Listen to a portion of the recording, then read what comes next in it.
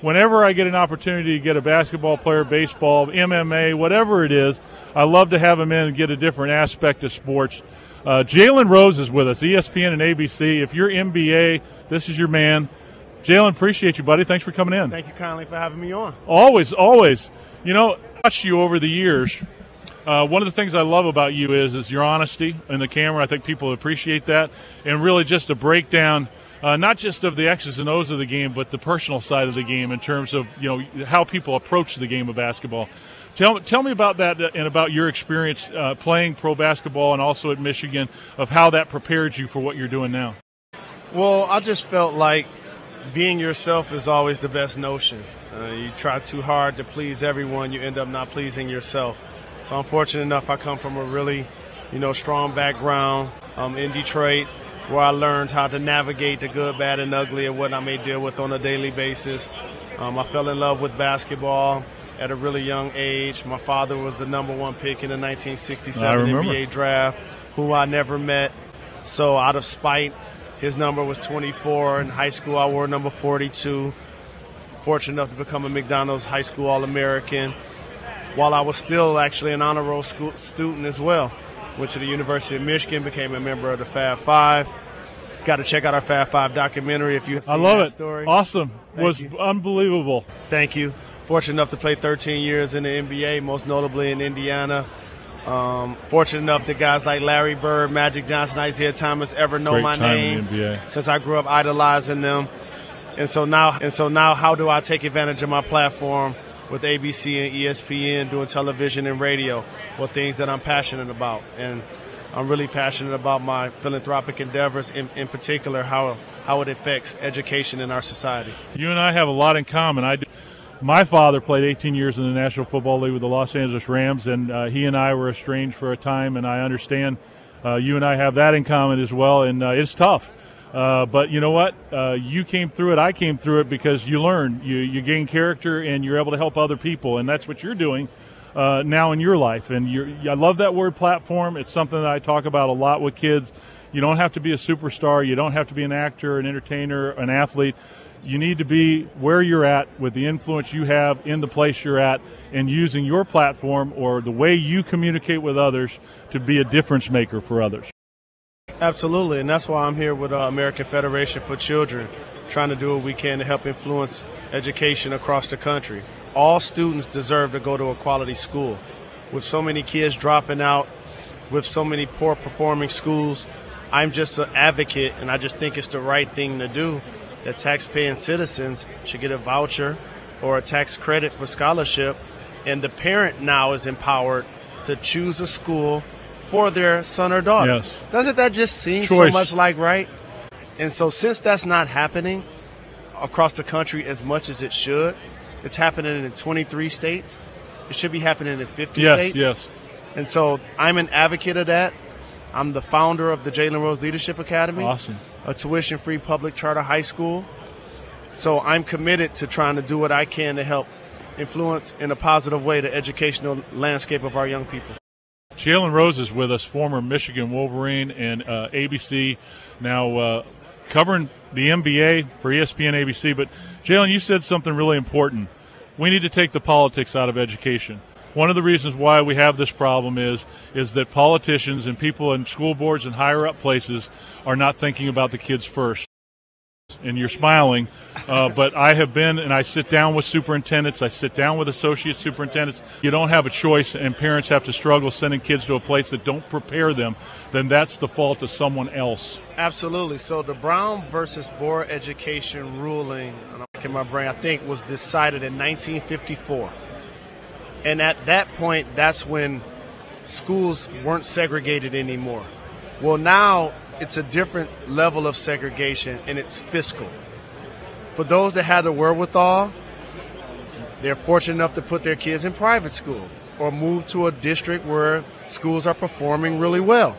But what about the majority who don't have that option? And that's middle class. Now, we're not talking about just poor Cor- kids. Correct, absolutely.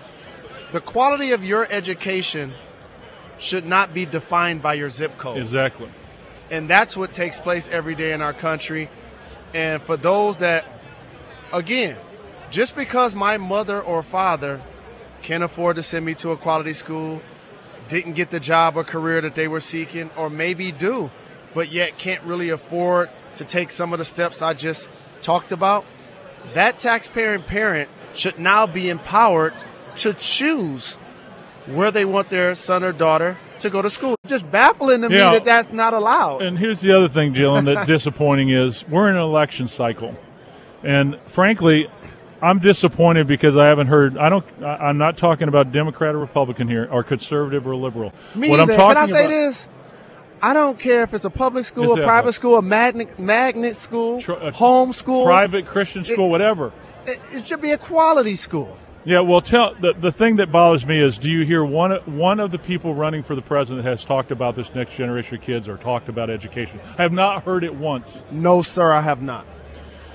American Federation for Children, what are we doing to try to help solve this problem and make progress? Because I've talked to, I'm blue in the face, and, and, and can I tell you, it isn't just parents, um, educators, teachers, coaches, principals, ones on the ground, they're extremely frustrated. So, what I would encourage anyone that can hear our voices, your politicians are elected officials in your community. If you agree with the fact that parents should have the choice where they send their son or daughter to go to school, then the voice should come from the people. Allow your voice to be heard because this is an epidemic that needs to stop. Uh, I'm sure you've been around uh, youngsters and students today. One of the things that shocks me in the school systems, and I want you to address this, we're, we're too involved in testing. All we seem to do is teach kids how to test. And when I talk to teachers and coaches, they cut character programs, they cut life skills programs, they cut drug and alcohol education programs, all in the name of put them in school longer, put them in school for more hours. But when they come out, they have no life skills and ability to make good decisions. I'm talking to colleges now that are saying that high school seniors coming into colleges are not prepared to be college students. And that's the dynamic we're looking to fix with the Jalen Rose Leadership Academy. And we call that bridging the education gap. So just follow these steps, please, with me. There are people out there like myself that are fortunate enough to put their kids in private school. Well, that's an investment of $30,000 a year for 13 years. That's real money. The students that we serve get $7,200 per year from the state. However, we get zero state funding for our facility. Not to purchase, not to expand, not to renovate. So, what ends up happening is instead of the money that you just talked about for sports, for enrichment, for life skills, you really end up using it just so the kids can have a building to go to to actually have a school. So, as we build, bridge the education gap, It's one of my up? favorites, Jalen Rose. I love you, brother. Good to see you. As we look to bridge the education gap, just think about this. I'm looking to get a, a student to commit to compete in the same college classroom that's getting twenty three thousand dollars Uh-huh. less per year. Hard to do. Leader, uh, tell me about the Leadership Academy. How what you guys are trying to do to, to help this? Well, the, the thing that we're most proud of is that we're a 9 through 16 model, and we're owning the data. So we have 415 kids in our building. We just graduated 90 plus students.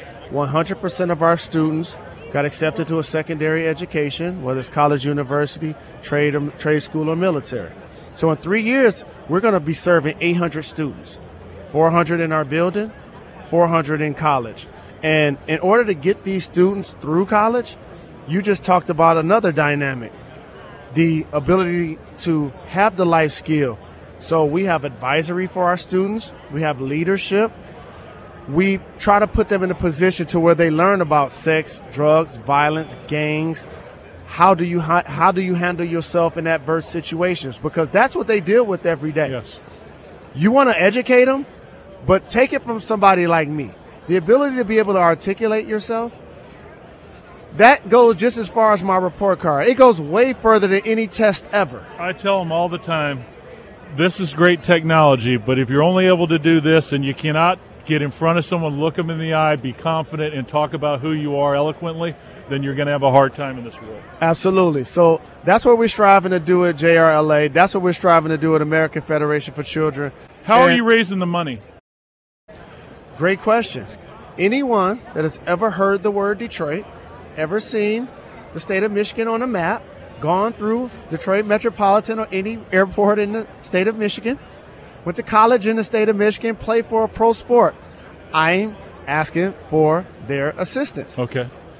And for the Jalen Rose Leadership Academy, you could go to jrladetroit.com. For American Federation for Children in Choice, go to federationchildren.org. Okay. Okay. Okay. Uh, so what we need is is we need some people on this network. Uh, we're in 150 cities. Uh, listen, if you have experienced what Jalen's talking about and you want to put your money where your mouth is and also be involved in something that can help your community, get involved with this. JRLA Detroit, and that's .com. Yes, sir. Uh, it, it, help them out here because you know what I, I've said this to athletes, Jalen. We all have a passion. We all want to help kids, but we need to come together and we need to help each other. Yep. You know, everybody has wants to help this generation of kids but if we can come together if everybody can understand that everybody has a role in this and this is what i've tried to tell communities just because your kids have graduated college doesn't mean you don't have a responsibility to the kids in your community that's important so jalen I, I, want to applaud you for the work you to do it and if you need to come back on the show at any time you let me know because this is a passion of mine as well um, we're in North Carolina. We're in uh, actually in Grand Rapids, Michigan. Our program. Okay, great. Uh, so, uh, love to anytime you need to tell us something or we can be of help to you. Please let me know. Thank you. And uh, I, I've really looked forward to this because I've from afar I've always appreciated the way that you approach what you do. Uh, this has been this has been exciting for me to hear what you're doing. Thank you. I'm looking forward to uh, hearing the results and where you're going with this. And um, one more time on on the addresses for them on both of these? JRLADetroit.com for the Jalen Rose Leadership Academy to support our fundraising efforts. For school choice, please go to federationchildren.org. Jalen Rose, ESPN ABC. Jalen, appreciate you, buddy. Thank you. Kindly. Thanks for coming in. My pleasure.